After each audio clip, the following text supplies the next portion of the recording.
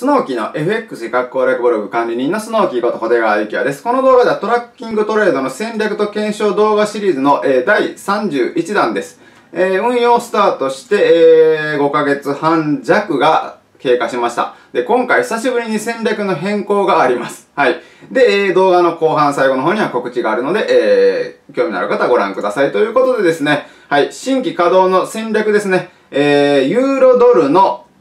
ショートです。を線通貨。ポジション間隔は約、20ピップスで、想定変動幅を1000ピップスと広めにしています。ちょっとね、証拠金が増えてきたので、えー、そろそろ動かそうかなっていうのと、あとですね、ユーロドルに関しては、えー、っと、1.14ぐらいまで上がったら売りたいって言っていたんですけども、もうね、ちょっと日足で見ると、えー、チャート崩れてきているので、まあちょっとここらで一回ショート入れたいなと思ったので、えー、入れました。はい。ただまあ想定とね、えー、反対方向に動く余裕がまあ1000ピップスあるので、で、まあ、この上げ方なんですけども、窓を開けてしかもここまで上げているので、ね、えー、もう十分に上がりきってるということで、えー、ショートにしました。はい。まあどうなるかちょっとね、えー、わからないんですけども、あの、週単位での利益に関しては、まあ1個やっぱ通貨ペア増やすと、えー、増えてくるので、えー、そのあたりどうなるかっていうところですね。で、えー、すでに稼働中の戦略はまず、えー、米ドル円ですね。こちら想定変動幅、はい、えー、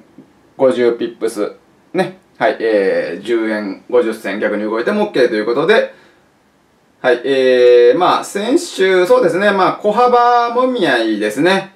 まあ、材料一発で、えー、上に飛んでくれるといいんですけども、まあ、なかなかね、ちょっと悪い方の材料がね、はい、えー、最近出て一気に下がるっていうのが、えー、多かったんで、ここらでね、えー、ちょっと上がってほしいところです。で、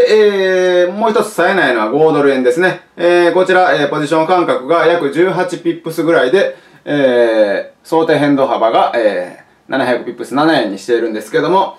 まあね、あのー、ループイフダンでも豪ドル円ロングですし、結構私豪ドル円のロングたくさん持ってるんですけどもね、もうちょっとね、えー、しっかりしてくれるといいなというところで、はい。まあ、ここら辺りでね、もみ合いが続くのかなと、ちょっと今のこの感じを見ていると、ここを抜けるのはもう少し先になりそうだなっていうところなんですよね。はい。で、あとですね、えー、ニュージーランドル円のロングです。ポジション間隔は17.5で、えー、想定変動幅が、えー、700ピップス7円ということで。でね、えー、あの、週末これ来週の戦略の方でもお話しするんですけども、元気なんですよね、ニュージーランドル円は。はい。えー、5ドル円より先に持ち直して、えー、上昇を始め出しました。なので、えー、この勢いで勢いづいて、えー、79.2かな。ここを、まあ、来週に抜けてくれると気持ち的にはだいぶ楽になって、えー、証拠金的にも、口座的にも楽になってきます。で、今回の約定履歴なんですけども、まあ、それほどね、あの、注目いただく部分ないんですけども、やっぱりこうやって見ると、ニュージーランドル円が、えー、上がっていってるので、えー、まあ、決済されてるのはニュージーランドル円が多いかなっていうところですかね。はい。ということで、現在の口座残高はですね、え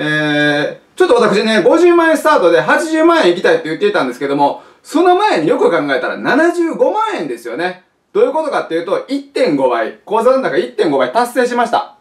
50万円スタートで、えー、75万円超えているので、そうですね。まず1.5倍ですよね。で、次2倍っていう考え方ですよね。なぜ80万円って思っていたのかあれなんですけども。で、前回と比較して、まあ、はい。ちょっとあの、先週とか今週あんまり動かなかった分、はい、少ないんですけど、ただ、含み損がね、結構減っているので、えー、口座残高的には楽かなと。えー、口座維持率、はい、579%ということで、えー、来週に期待です。まあ、ユーロドルがガツンと上がると、あの気も、気持ち的に一気に苦しくなるんですけども、ということで、えこの後は告知です。トラッキングトレードが利用で利用できます FX ブロードネットさんとスノーキーのブログ限定タイアップキャンペーンというのを開催しております。タイアップ専用バナーからの新規口座開設と3万円以上の入金、FX 取引はしなくってもですね、えー、ブロードライトコース1000通貨コースだと、えー、1000円分の図書カード、ブロードコース、えー、1万通貨コースだと3000円分の図書カードがもらえます。で、どちらか先に口座開設して、プラスって後でね、えー、追加で口座開設っていうのもできるんですけども、特典の両取りっていうのはできずに、えー、一度だけなので、